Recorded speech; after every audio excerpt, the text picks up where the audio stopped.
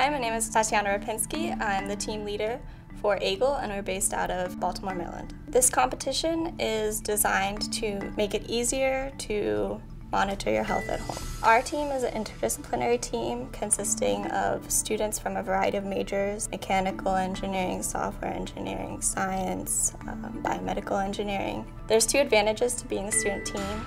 We are doing this project not for a paycheck or part of a company. We're doing this because we're wildly enthusiastic about the project. And I believe that that enthusiasm and excitement is going to translate to our competition submission. Secondly, because we're new to the field, we're not bound by the status quo in healthcare. And as a result, we're poised to create very innovative solutions. The greatest challenge has been to develop a system that is consumer friendly. We are conducting usability testing. We are developing prototypes and then testing them to see how usable they are, how a person using them feels about it, and taking that feedback to modify our system. Our technology is a multi-part system designed to both tackle the diagnostic challenges as well as the usability specifications. The diagnostic component makes use of things like microfluidic chip and color change test strips. We have a vitals monitoring device which is continuously worn and then the smartphone application which serves as the user interface.